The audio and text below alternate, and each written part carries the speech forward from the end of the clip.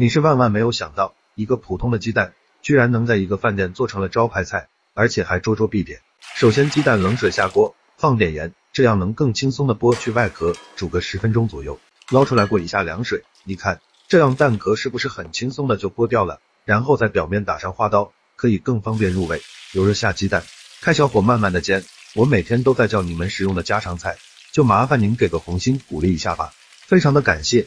煎至表面金黄呈虎皮状，放姜葱两个八角，几个干辣椒，一勺生抽，少许老抽，半勺毛油，再来点盐和冰糖，倒入一瓶快要过期的啤酒，小火煮十分钟，然后再大火收汁即可。虎皮鸡蛋这样做，好看又好吃，你们有没有学会？